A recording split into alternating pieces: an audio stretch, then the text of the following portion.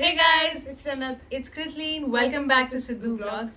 So guys, आज हम react करने वाले हैं on a very important video. So this is the emotional story of Naseem Shah, who is a Pakistani bowler. He's a great bowler. जैसे ही उन्होंने अपना पहला मैच खेला था we were all hooked on to our screens लेकिन apparently इनकी भी कोई इमोशनल स्टोरी है बैक स्टोरी है लाइफ की so we would love to react upon it So guys, video start करने से पहले ये दो हमारे इंस्टाग्राम हैंडल्स हैं प्लीज़ फॉलो अगर आप नहीं कर रहे अभी तक तो लेट्स गो आप जन्नत इजाज़त है? लेट्स गो गिवन बॉलिंग मस्त करता है वैसे। अरे बैटिंग में भी छुड़ाए थे।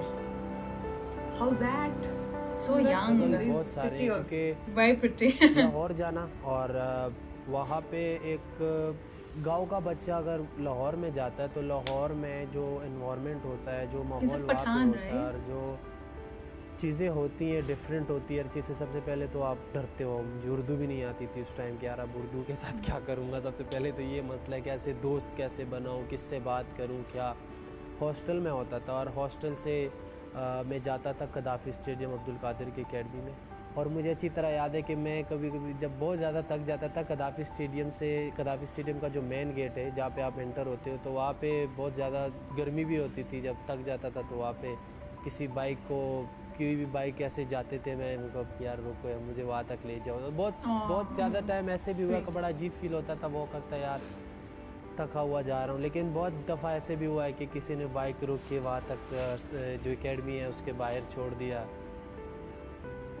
अम्मी के साथ बहुत अटैचमेंट थी और मेरे अम्मी ने ही मुझे ये काबिल बनाया कि मैं क्रिकेट खेल सकूँ क्योंकि मेरे अबू बहुत सख्ती से मना करते थे क्रिकेट से ठीक है? वो क्रिकेट को ऐसे समझते थे जैसे क्रिकेट है कोई ऐसे समझो कि हम कोई गुनाह कर रहे हैं कि यार ये क्या टाइम वेस्ट कर रहे हो पढ़ो ये वो। तो अम्मी से टेप के लिए पैसे मांगते थे कि अबू नहीं देते थे मैं समझता हूँ कि जब मेरा नाम आया मैं फ़र्स्ट क्लास का मैच खेल रहा था और मेरी अम्मी ने मुझे कॉल की मुझे अभी भी अच्छी तरह याद है कि मेरी अम्मी ये कह रही थी कि पता नहीं मुझे नहीं पता कि क्या हुआ है। लेकिन सारे लोग आ रहे हैं गाँव के और मुझे आके मुबारकबाद दे रहे और मुझे बहुत ज़्यादा खुशी हो रही है। ये उस दिन की बात है जिस दिन नाम आया। तो अ, बड़ी खुशी थी। जब मैं फिर टूर के लिए जा रहा था तो जिस रात मेरी डेब्यू थी टीम मैनेजमेंट वाले आए और मुझे तो पता नहीं था कि मेरी अम्मी का ये वाक़ हुआ है। तो उन्होंने खैर मुझे बताया कि आपकी अम्मी दुनिया से चली गई और खैर उसके बाद तो मुझे बिल्कुल होश ही नहीं था और बिल्कुल समझ नहीं आ रही थी। लेकिन फिर ये कोशिश था कि अभी कम अज़ कम इतना हो कि मैं उनको आखिरी बार तो देख सकूँ। लेकिन वो मेरे ख्याल से कि इतना टाइम नहीं था कि मैं जनाजे पे पहुँच सकूँ। तो फिर मेरे अबू ने कॉल किया कि बेटा देखो, आप जिस मकसद के लिए गए हो, ठीक है, अम्मी और मुझे या जो भी आप कह लो कि सब घर वालों को छोड़ के आप चले गए हो तो इसी मकसद के लिए गए हो। अब आप ऐसे करो कि ना जो है ना वो खेलो और मुझे तो बिल्कुल होश नहीं था। बहरहाल मैं मैं भी ये सोच में आया कि यार अब पूरी ज़िंदगी इसी चीज़ के लिए आया हूँ कि यार अम्मी को छोड़ के और क्रिकेट ही तो फिर वो मैं मैच खेला। मैं ऐसे सोचता था कि यार, मेरी दुनिया ख़त्म हो गई अंदर, क्योंकि बड़ा एक ना मुश्किल, मैं ही समझ सकता कि वो क्या क्या क्या हुआ और अम्मी के लिए मैं क्या सोचा था। तो वो जो था कि बिल्कुल ही मैं समझता था कि अंदर से अब यार क्रिकेट तो खेल रहा हूँ और मैं बिल्कुल जो है ना ख़त्म हो गया हूँ अंदर से। बिल्कुल ही समझ नहीं आती थी क्या करूँ। टूर करके वापस घर जाओ तो घर का माहौल भी ऐसे होता था, आपको पता है, मीना हो. तो बीच में काफ़ी फिर क्रिकेट खेलते हुए इंजरीज भी आती हैं काफ़ी चीज़ें होती हैं इन सारी चीज़ों के साथ फाइटिंग करना तो ये मेरे ख्याल से बड़ा एक मुश्किल टाइम होता है। फिर परफॉर्मेंस भी करनी होती है हर चीज़ करनी होती है क्योंकि ये तो वही बंदा समझ सकते हैं जिसके साथ ये चल रहा होता हो। आप अगर कोई और कहीं हो आपको मेरी फीलिंग तो नहीं आप समझ सकते कि इस पर गुजर के आ रहे इस टाइम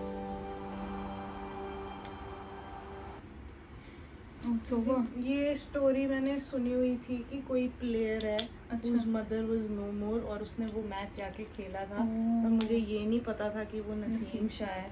बट बहुत आई थिंक मतलब खेलना ही जाके खेलना ही कितनी बड़ी बात है। हमारे दिमाग में सौ चीज़ें चल रही होती हैं। ऐसा मैंने विराट कोहली के साथ भी ऐसा ही हुआ था। He had a match and I think I think his father expired that moment उसको पता चला बट ही वेंट ऑन ऐसे दो तीन बार सुना हुआ है but I did not know about मतलब बेसिकली तुम लोग हम लोगों को पता नहीं होता कि वो लोग फ़ील्ड पे आके what all they've left behind. उनके माइंडसेट कैसा है। They just coming they have to perform नहीं तो उनको गालियाँ पड़ती हैं। एक कैच छोड़ देते हैं तो कितनी गालियाँ पड़ती हैं। एक दिन परफॉर्म नहीं करते हैं तो क्या क्या होता है। द प्रेशर एंड उनकी जो लाइफ सिचुएशन है वो सब कुछ छोड़ के उस सबको मैनेज करके अपना खेलते हैं। This was such an emotional story बहुत बड़ी बात थी कि हम्म। वो आया मैच खेलने। और इतना आप इमोशनल आप इतना बैगेज लेके you are performing so well you are such a good bowler बहुत अच्छा लगा स्टोरी जान के। एंड आई थिंक बहुत ही अमेजिंग अमेजिंग था ये hats off long way to go Naseem Shah yes big fan so guys this is our reaction really hope that you liked it if you did this video को like कर दो इसमें बहुत सारे comments कर दो और हमारे चैनल को सब्सक्राइब कर दो so guys this is sidhu vlog signing off we love you guys